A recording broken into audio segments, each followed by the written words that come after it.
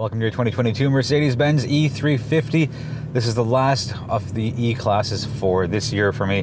I've had the E450, I've had the Coupe, I've had the Cabriolet, and I believe one other one. But I wanted to get into the entry level for the E class. And I feel bad saying it, but every ladder has a first run. So with the E350, let's do uh, the driving dynamics, take a quick look at the outside, will be really short. Uh, same thing with the inside, but really it's going to be about driving dynamics as the main focus here. So it's a 2 liter turbo inline 4, and it's 255 horse, 273 pound feet of torque, all through a 9 speed automatic transmission, and it does have their 4MATIC all wheel drive. So, having driven every other variant, or almost every other variant of the E Class this year, um, the 350 feels a little underpowered compared to the E450. Now, with the 450, power figures are in the mid threes, and it's a significant difference. So, there's nothing wrong with the E350. It's still a very luxurious vehicle, a top notch fit and finish here. Um, plenty of available technology, as is the case with any vehicles, really. But um, out of the box, even without all of the add ons and the options checked on the option sheet, the E350 is a really solid mid-sized luxury sedan and um, right up there with the 5 Series, which is my favorite BMW for that matter. Um, and the more E-Class vehicles that I spend time with, let me get rid of that heat, it's, it's a little hot in here, um, the more and more I like it. I like it that it's subtle luxury, it's not very ostentatious luxury, which Mercedes does very, very well. It's you know, a nice clean, conservative look on the outside, but they really dazzle you with features and benefits and quality of materials and layout like this big, massive two piece, um, sorry, one piece, two screen uh, set out for your infotainment and your dashboard. But let's go back to the driving because that's going to be, again, the focus of the review. So it's a little sluggish compared to the 450. And with only 273 pound foot of torque moving a mid-sized sedan, you'll still get going whether you go in regular Eco Sport or Sport Plus, but it just doesn't have the same bite and it doesn't have that same exhilaration when you accelerate with the 350 here.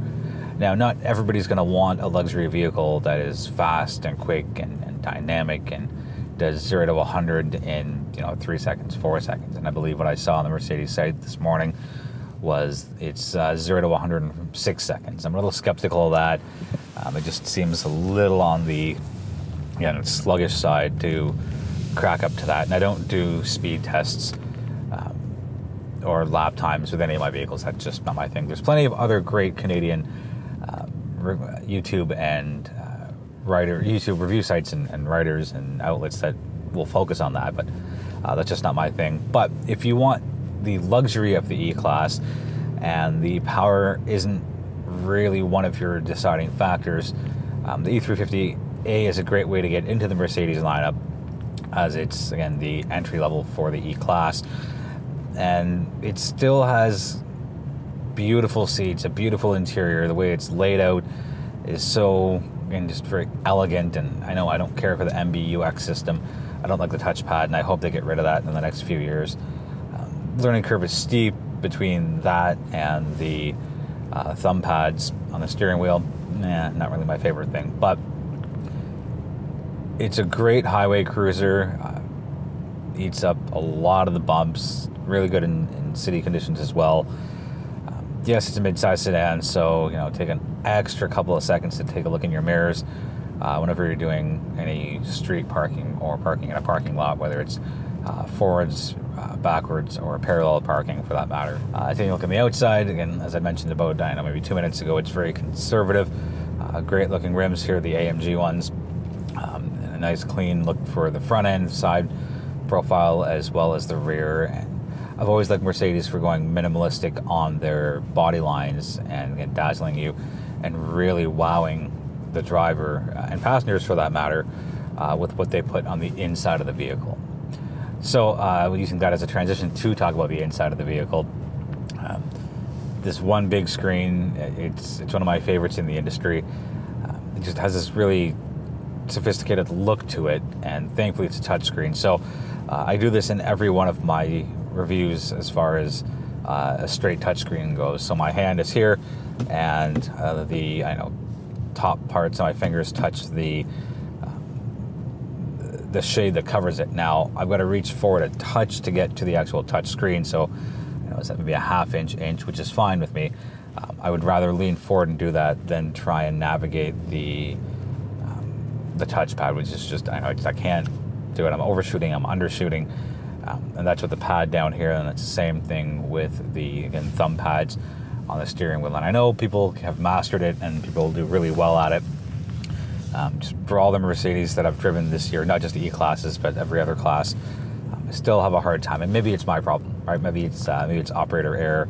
Um, but the touchscreen itself, uh, high res, easy to get all of your information, minimal digging on the menus, and it's just it's very intuitive. And then taking a look over a bit to the left to the digital dashboard, beautiful. So many things you can do to customize it. Lots of different options.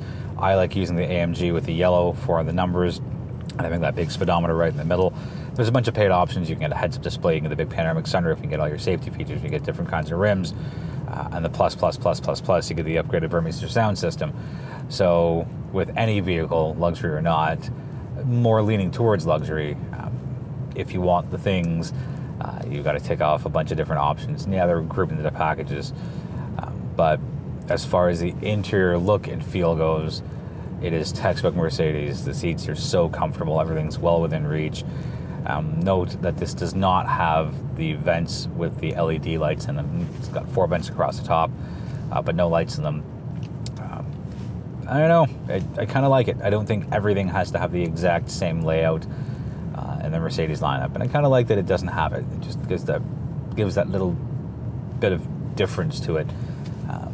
And not everybody's gonna like having the LED lights there. Yeah, it's a cool it's a cool visual. It looks really nice. You can get the 64 different colors as far as customizing what you want for the interior colors and the ambient lighting.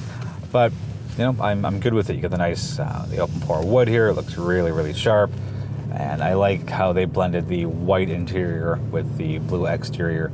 Uh, this is that nice open look. And yes, the panoramic sunroof does help in getting even more light into the cabin. But even if it didn't come with a panoramic one and you opted just for the standard sunroof, I think it would still let plenty of light into the cabin without any issues at all. Wrapping up with fuel consumption. So on a 66 liter fuel tank, because this is a smaller engine, you'll have uh, different fuel consumption as you would compared to the 450.